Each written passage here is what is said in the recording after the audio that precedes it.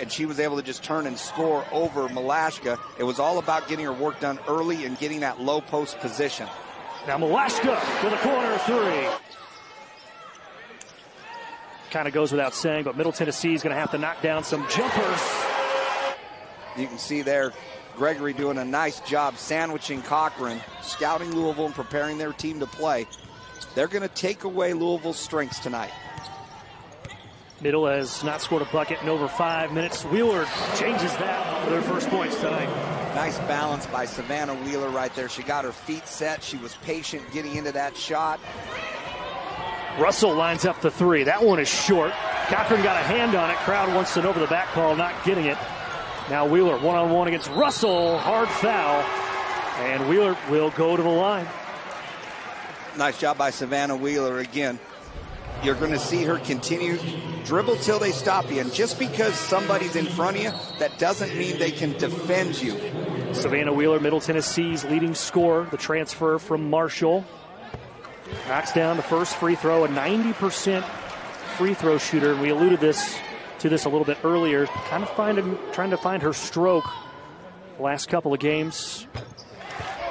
Shot 37% for the Orange last year, led the team. As Wheeler drives and finishes with the left hand. It's just a credit to him that he's willing to play this game in this type of an environment. Whitson puts up the three and buries it. And middle able to clear. Coach Insell wants him to run. Boldyreva steps into a three. One point away from her season high of 13, which she set against Belmont as the three finally goes down for Savannah Wheeler. Whitson, another three. Money! As Wheeler has 10 on the shot clock. Checked by Hailey Van Lith. Now five. Wheeler drives. Less than 20. Boldyreva going to work now. Wheeler wide open for three. Count. Inside out at its best right there. Boldyreva drew the double team. Tied for the team lead tonight in points with 14. Wheeler corner three, and she's fouled. So try to contest that without fouling. Foul is on the freshman. Was the Kentucky Miss Basketball Award winner back in 2019. She hits all three free ones. Now five on the shot clock again. Wheeler in trouble. Has got to put up a tough one. Got it.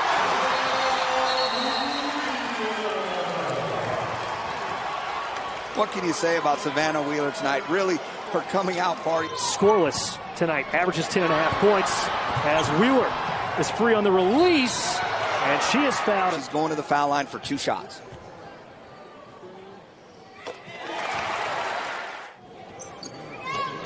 As Wheeler knocks down another free throw.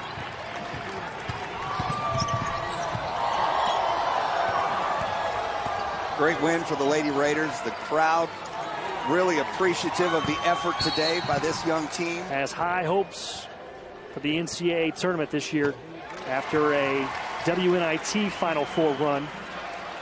And tonight, they're getting ready to knock off a Final Four team from last year. And they've earned it. They've earned this win today. This is their opportunity to celebrate a great win. This building has been around for a long, long time, and Rick Insell has won a lot of ball games inside the glass house. But none of them have been as sweet as this as Middle Tennessee.